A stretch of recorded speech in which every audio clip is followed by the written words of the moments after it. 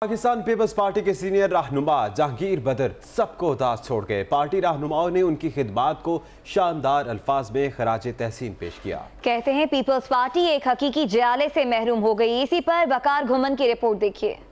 سابق سینیٹر جہانگیر بدر کی نماز جنازہ میں ملک بھر سے پیپلز پارٹی کی اہم شخصیات نے شرکت کی۔ نماز جنازہ کے بعد میڈیا سے گفتگو کرتے ہوئے سینئر رہنماؤں نے جہانگیر بدر کو خراج تحسین پیش کیا۔ سابق وزیر اعظم راجہ پرویز اشرف نے کہا کہ جہانگیر بدر پیپلز پارٹی کے لیے سرمایہ تھے جنہوں نے ہمیشہ جمہوریت کا ساتھ دیا۔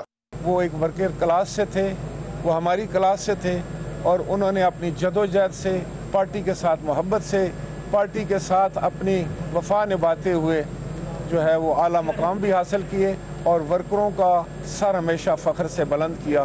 وزیر اعلیٰ سندھ سید مراد علی شاہ اور سابق وزیر اعلیٰ سندھ سید قائم علی شاہ نے جہانگیر بدر کی موت کو پارٹی کے لیے بڑا دھچکا قرار دیا۔ رہنماؤں کا کہنا تھا کہ جہانگیر بدر شروع سے آج تک پارٹی کے ساتھ وفادار رہے۔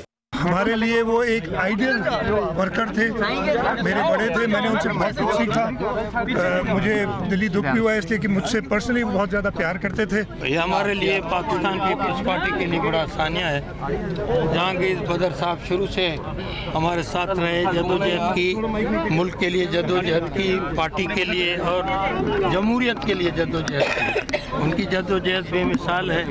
اپوزیشن لیڈر قومی اسمبلی سید خورشید شاہ سینئر رہنما Qamar Zaman Kaira Chaudhry Aitzaz Ahsan opposition leader Punjab assembly Mian Mahmood Rasheed Chaudhry سرور اور میاں منظور وٹو نے بھی جہانگیر بدر کی سیاسی جدوجہد اور آمریت کے خلاف قید کی صوبتوں پر راج تحسین پیش کیا۔ کیمرہ ٹیم اور ساتھی رپورٹر علی اکبر کے ہمراہ وقار گمن لاہور۔